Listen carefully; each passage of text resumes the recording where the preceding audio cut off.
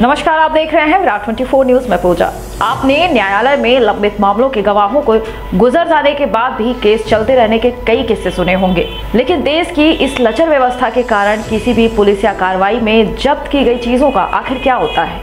जैसे चोरी की गई गाड़ियाँ, या फिर नशे के लिए इस्तेमाल की जाने वाली कोरेक्स या शराब। कहाँ जाती है ये? ये बड़ा सवाल होता है। आपको बता दें कि पुलिस ऐसी चीज़ों को जब्त करने के बाद थानों के स्टोर में रखती है। ऐसा ही एक मामला रीवा ज़िले में पकड़ी गई 136 पेटी कोरेस कफ सिरप का है, जिसे साल 2019 में सिविल लाइन पुलिस ने जब्त करते हुए कार्रवाई की थी। लेकिन कई साल बीत जाने के बाद न्यायालय ने मामले पर सुनवाई करते हुए 136 पेटी कोरेक्स कोर्ट में पेश करने के लिए आदेश दे दिया। यानी थाने के प्रभारी बदल गए। कार्रवाई में शामिल पुलिस वालों के तबादले हो गए, लेकिन उन्हें दोबारा इस मामले के लिए आकर कोरेक्स की पेटियाँ कोर्ट में पेश करनी पड़ रही है। सवाल ये उठता है, क्या कार्रवाई के तुरंत बाद जब्त चीज़ों के लिए न्यायालय को संज्ञान नहीं लेना चाहिए? सोचिए कि थानों में पुलिस बल की कमी के बावजूद पहले पुलिस कार्रवाई करे, फिर मामलों में जब्त चीज़ों को सुरक्षित रखे। ये किसी चुनौती के सिवा कुछ नहीं हो सकता। ऐसे मामलों से न्याय व्यवस्था पर सवाल उठने लाजमी है।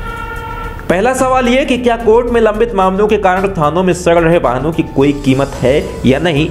क्या इससे राजस्व को कोई नुकसान नहीं पहुँचता? क्या समय समय पर थानों में पड़े वाहनों की नीलामी नहीं होनी चाहिए? लेकिन ऐसे मामलों पर प्रशासन की नज़र न पड़ी है, न पड़ने वाली है। वही सवाल ये भी कि पुलिसिया कार्रवाई में जब्त, शराब, कोरिक्स, गांजा का क्या होता है? आमजन में अक्सर ये चर्चा है कि नष्टीकरण के दिखावे के पीछे बड़ा खेल हो जाता है। ये तो दिख जाएगी स्थितियाँ कौन मेरे के दीमक खाली कितने लाख का चौदह लाख? सोलह लाख. का माल न्यायालय दो साल बाद प्रस्तुत किया जाएगा। बेटा देखो बेटा ऐसे मत कर बेटा तेरा ऐसे नहीं ऐसे नहीं ऐसे नहीं। तेरा ही काम बढ़ेगा। कार्टून सही चालू। कार्टून के कार्टून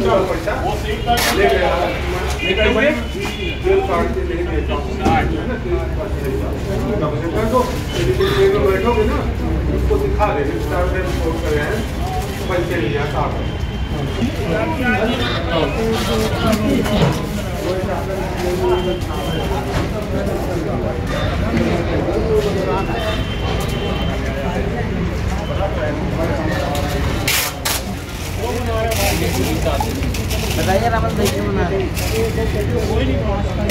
से जा रही है पुरानी तो कहाँ जा रही है और किसके आधार पर कैसे है ये?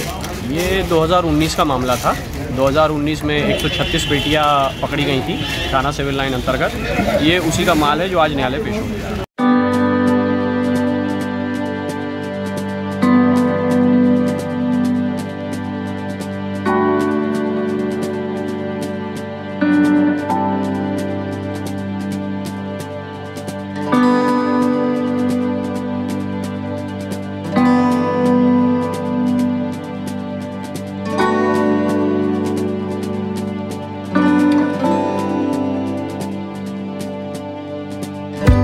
शायद इसी का परिणाम है कि न्यायालय ने 136 पेटी कोरेक्स दो साल के बाद कोर्ट में पेश करने का आदेश दिया है।